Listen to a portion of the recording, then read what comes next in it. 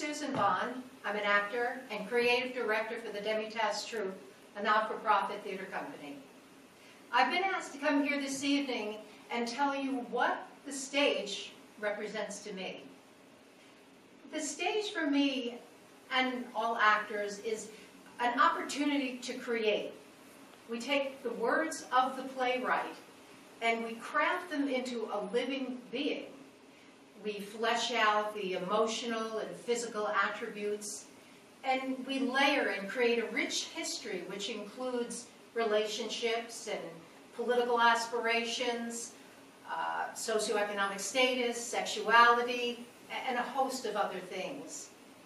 We breathe life into the lungs of our creation until it's self-sustaining. We want this entity to be able to stand and exist on its own. We are storytellers. We want you to laugh and cry. We want you to, to feel. We want you to empathize. We want you to come into our home, our living room, our, our bedroom, and we want you to share and experience feelings that touch your heart and your soul. If we can capture you for a few short minutes, this is what we want to achieve.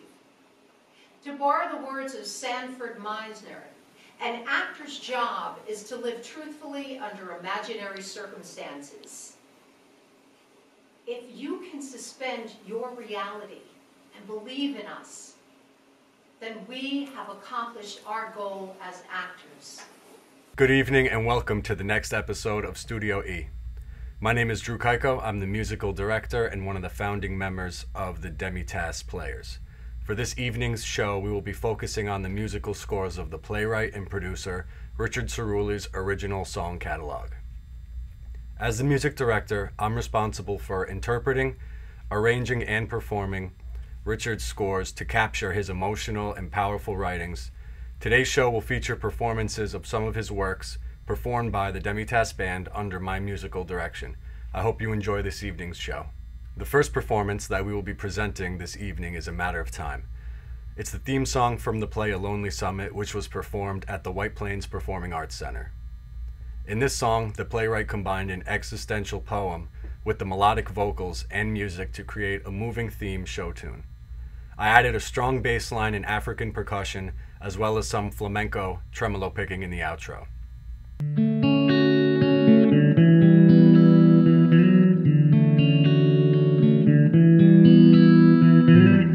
It's just a matter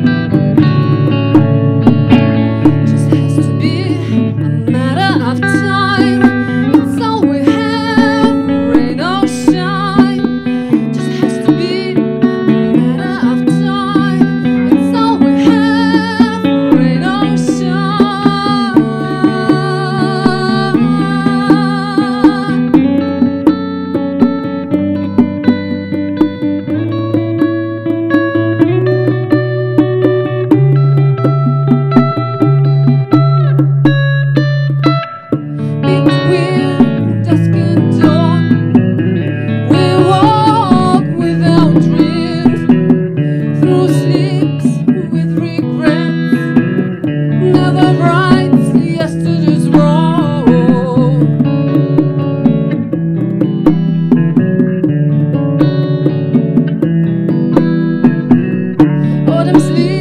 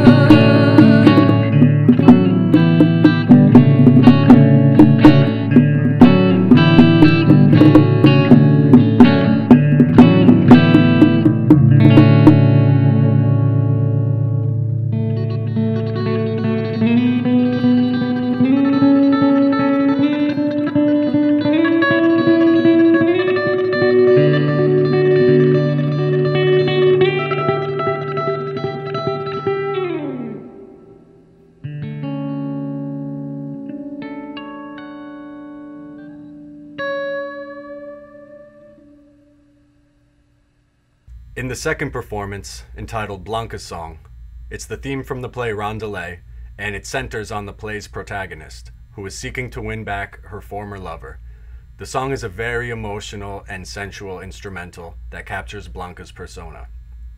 As a musical director and the lead guitarist on the song, I approached the playwright's original score by again using a strong, steady bass line that counters the main guitar melody.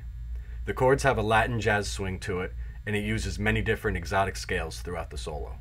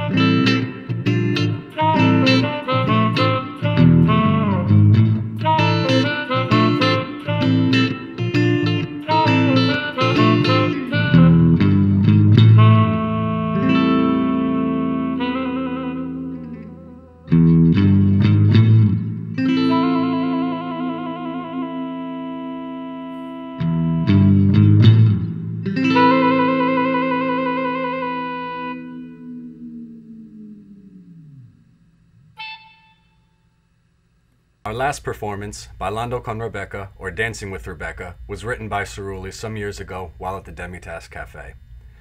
It's a cerebral, emotional, and sensual reflection. I kept the same guitar intro and bass line as the original score. It's a simple two note back and forth that rings throughout the piece with power.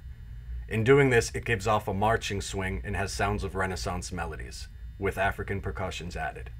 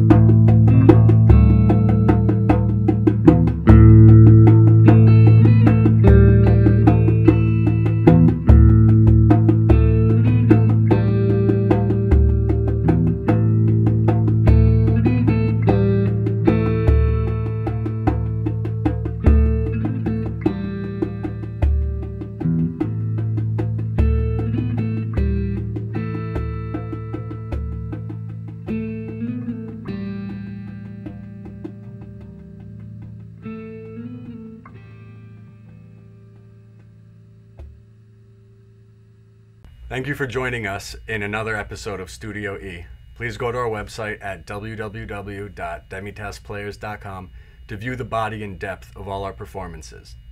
Lastly, I'm going to leave you with a performance by myself and Michael Brewster on bass. This is the Demitasse Day.